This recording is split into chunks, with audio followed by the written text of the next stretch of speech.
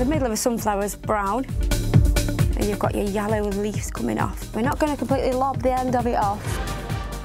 And add some shading and highlighting because that's what 3D objects have got where all the seeds are and everything, it's all textured and very dimply. We're going to create that kind of effect. It looks nice.